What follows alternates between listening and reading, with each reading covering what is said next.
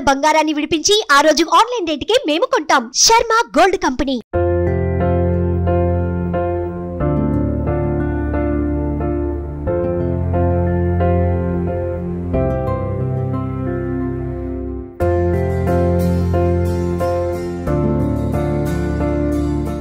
ప్రస్తుతం మనం విజయవాడలో ఉన్నాం. మనతో పాటు ఉంది పద్మావతి శ్రీవల్లి. తను తెలుసా? నైన్త్ క్లాస్ నుంచే రకరకాలైనటువంటి స్పెషల్ యాక్ట్ అని చెప్పొచ్చు ఆర్ట్ అని చెప్పొచ్చు. చూడండి బియ్యం గింజ మీద ఎవరైనా రాస్తారు బట్ తను చూడండి ఇది సేమియా జస్ట్ ఒక చిన్నది.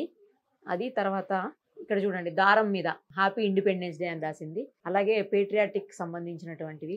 ఇలా రకరకాలైనటువంటి విద్య అంతా కూడా ఆమె సొంతం. చాలా అవార్డ్స్ ఉన్నాయి రివార్డ్స్ ఉన్నాయి ఇండియా బుక్ రివార్డ్స్ ఉన్నాయి చాలా ఉన్నాయి. అలా చెప్పుకుంటూ పోతే ఒకటి కాదు. మోడీ గారి మీద స్పెషల్గా రాసింది. అవన్నీ కూడా బియ్యం గింజల మీదనే చేసింది తను.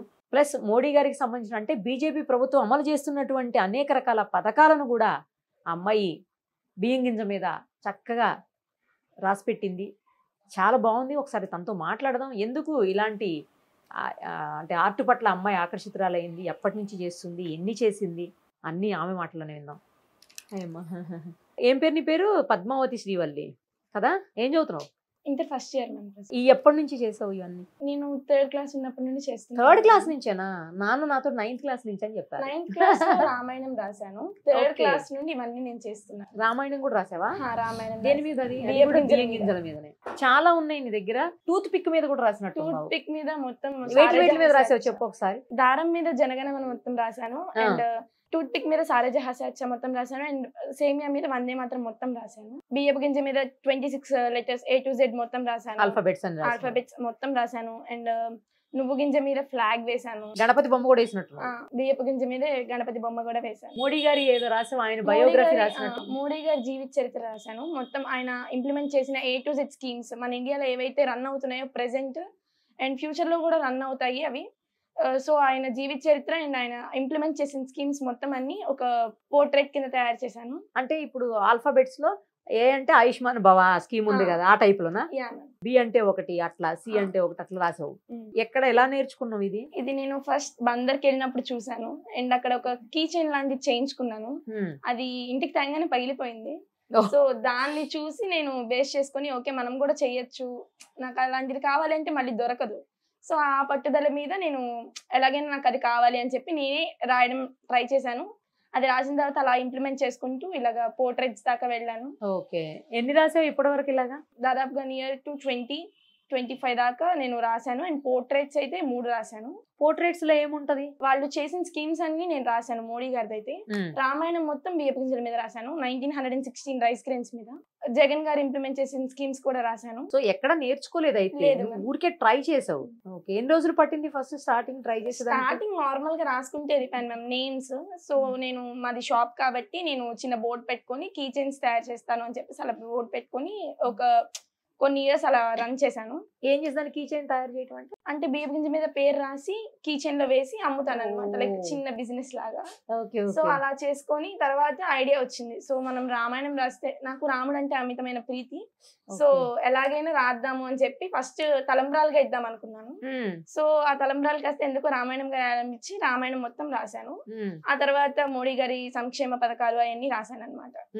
దాంతో పాటు ఇలాగ ఇండిపెండెన్స్ డే లేదా రిపబ్లిక్ డే అలాంటివి వచ్చినప్పుడు లేదా గాంధీ జయంతి అలా వచ్చినప్పుడు కొన్ని కొన్ని మైక్రో థీమ్స్ అంటే ఇప్పటిదాకా ఎవరైతే ఏమీ రాయలేదు సేమియా మీద ఎవరు రాసుండరు. అవును సేమియా So, మీద ఎవరు thread చూడలే మీద ఎక్కడ? ఎవరు థ్రెడ్ మీద కూడా రాసుండరు. చూడలే. నువ్వు గింజ మీద కూడా చాలా రేర్గా చూస్తూ ఉంటాం.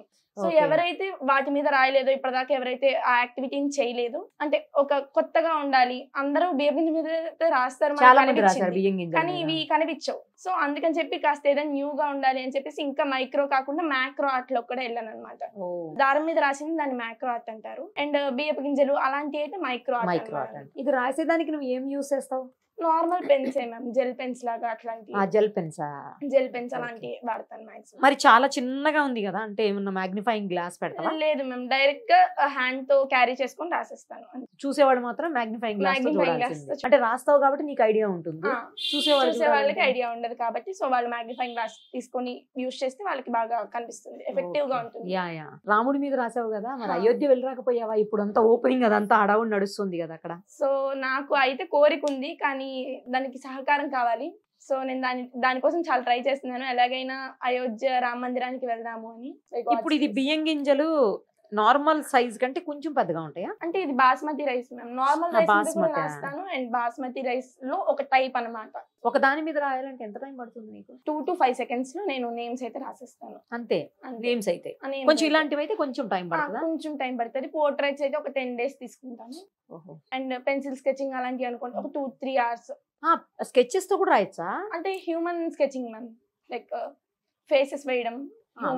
అవైనా ఒక టూ టూ అవర్స్ అలా తీసుకుంటాను. అది ఫోటో ఉండాలా ఫోటో ఉండాలి. లైక్ ఫోటో ఉంటే నేను వెంటనే వేసేస్తాను. టూ. అవర్స్లో వేస్తాను. అది వేటి మీద వేస్తావు? అవి పేపర్స్ మీద వేస్తాను. Papers papers like paper carving పేపర్ని కూడా ఒక హ్యూమన్ ఫేస్ లా కట్ చేయగలను నేను. పేపర్ను కూడా కట్ చేస్తావు? పేపర్ ఉన్నాయి అలా కట్ ma'am. చాలా రకాల ఆర్ట్స్ ఇవన్నీ నీకు నువ్వు నేర్చుకున్నవే. అంటే ఒక ఒకసారి ఒక చూసాను అంటే అది నాకు ఎలాగైనా నేర్చుకోవాలని పట్టుదల ఉంది. చిన్నప్పటి నుండి ఆర్ట్ అంటే చాలా ఇష్టం.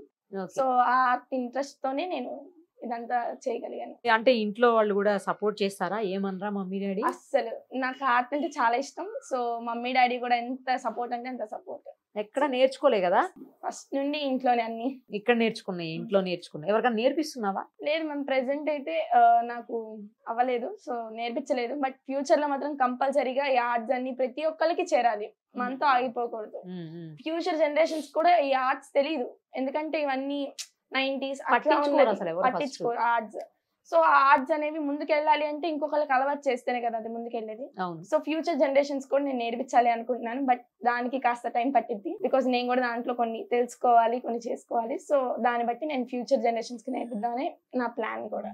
Okay okay. ఇప్పుడు బియ్యం గింజ మీద రాసావు కదా ఇది నువ్వు పెన్తో రాసావు జెల్ పెన్ తోటి దీని మీద స్కెచ్తో రాయొచ్చా? అవ్వదా? రాయొచ్చు మ్యామ్. లైక్ దేంతో అయినా రాయొచ్చు. కానీ కొన్ని స్కెచెస్ ఏంటంటే వాటర్ ప్రూఫ్ కాదు. అదే దానికోసం అండ్ కొన్ని కొన్ని ఏంటంటే స్మర్జ్ అయిపోతాయి.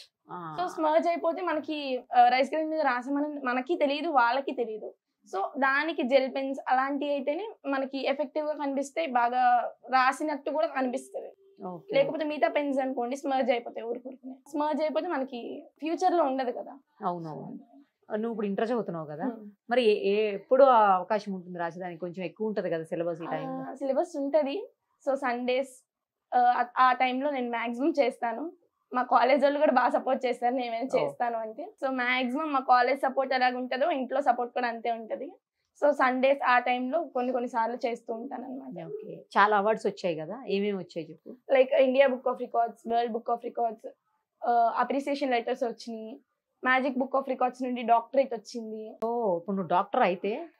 మరి నేను చెప్పలేదుగా డాక్టర్ అని. డాక్టర్ పద్మావతి శ్రీవల్లి అని చెప్పాలేమో. లైక్ డాక్టరేట్ వచ్చింది and Trump book of records నుండి ఒక రికార్డ్ వచ్చింది. ఓకే.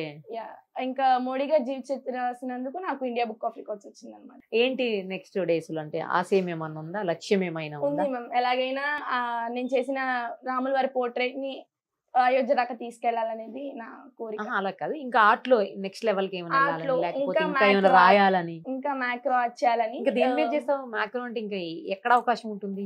అదే నేను ఫైండ్ అవుట్ చేస్తున్నాను Oh. ఇంకా దాన్ని సర్చ్ చేస్తున్నాను. ఇంకేమైనా ఉంటాయేమో ఇంకేమైనా చూడొచ్చు చేసిందే మ్యాక్రో ఇంకా ఏమైనా ఉంటాయి కదా మ్యామ్. ఇంకా ఆగిపోను. ఇంకా అట్లా వెళ్తూనే ఉంటాను. సో నాకు అలా ఇష్టం అనమాట ఇప్పుడైతే ప్రెసెంట్ రాముల వారికి తలంబ్రాలుగా రాద్దాము అని చెప్పేసి తలంబ్రాలు ఏం రాస్తావు. దానిపైన?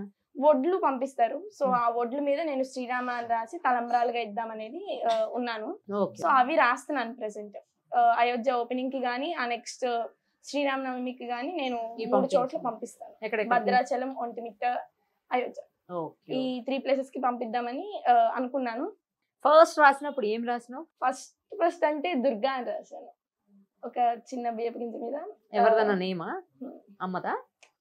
అంటే అప్పుడు మమ్మీది రాయాలనే ఆలోచన లేదు. ఫస్ట్ ఎవరి నేమ్ వస్తే వాళ్ళ నేమ్ రాసేద్దాం అనుకున్నాను. అమ్మవారు కదా సో దుర్గా అని స్టార్ట్ చేశాను. సో అలా స్టార్ట్ చేసి ఇంకా ఇలా వెళ్తూ ఉన్నాను. నీ పేరు రాసుకున్నావా? నా పేరు రాశాను. మమ్మీది డాడీది అందరూ రాసుకున్నా అందరి రాశాను. అందరు జాగ్రత్తగా ఉంచుకున్నారు. పెట్టుకున్నారా? నాది కూడా రాసిస్తావా? Yeah ma'am. All the very best మా. చాలా మంచి ఆట ఉంది నీ దగ్గర. నిజంగా నువ్వు చెప్పినట్లు నీతో ఆగిపోకుండా నెక్స్ట్ జనరేషన్స్ కూడా నువ్వు నేర్పించు. ఎందుకంటే ఇది నేర్పించేవాడు తక్కువ ఉంటారు. ఇంట్రెస్ట్ తక్కువ ఉంటుంది. అలాగే చెప్పేవాళ్ళు కూడా నేర్చుకున్నా. వచ్చేది కాదు మ్యామ్ లైక్ మనకి ఇంట్రెస్ట్ ఉండాలి మెయిన్ అండ్ ఐ పవర్ కూడా సరిపోవాలి. ఐ పవర్ కూడా. నీకు ఐ పవర్ కూడా బాగున్నట్టుంది. అంటే పవర్ అంటే మ్యామ్ ఇప్పుడు ఒకసారి రాసి మళ్ళీ కళ్ళు నొప్పులు వచ్చేస్తున్నాయి అది నొప్పి వచ్చేస్తుంది లేదా ఈ పెయిన్. వస్తుంది అని ఆగిపోకూడదు. నొప్పి వస్తే నెక్స్ట్ టైం నెక్స్ట్ చూసుకోవచ్చు అని చెప్పేసి అలా రాసుకుంటే వెళ్ళిపోతే ప్రాబ్లం ఏమి ఉండదు ఒక్కసారి Hmm. ఆగామా మళ్ళీ మనం కంటిన్యూ చేయలేం దాన్ని. సో అందుకని ఏదొచ్చినా ఆగిపోకూడదు. ఆ విషయంలో మాత్రం. All the very best Srivalli thank you